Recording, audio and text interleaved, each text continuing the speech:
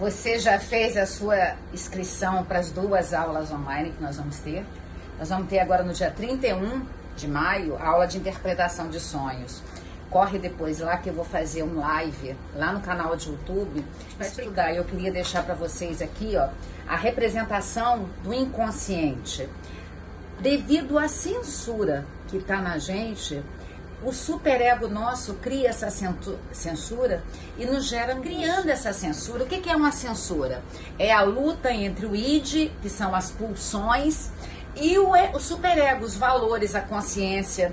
E aí eles vão disfarçados por sonho. E eles vão disfarçados, eles vão disfarçado, deslocando, condensando, dramatizando. Na verdade, o deslocamento e a condensação nada mais é do que a projeção. Então você pega emprestado das pessoas que você convive, que estão no seu conteúdo